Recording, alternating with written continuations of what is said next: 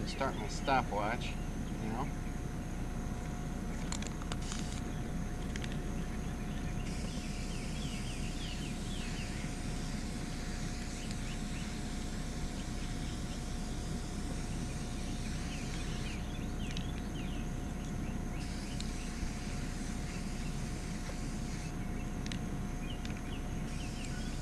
Now you notice I'm holding the black upright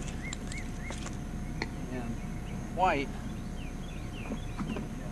since it is a traffic be sprayed actually upside down and in one of the striping machines, but I'm gonna, instead of upside down, I'm just gonna kinda hold it at an angle like this.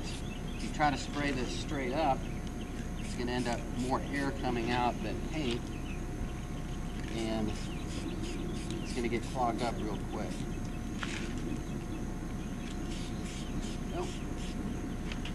Now, if you make a mistake, you- me go ahead and stop it. A minute and four seconds. If you make a mistake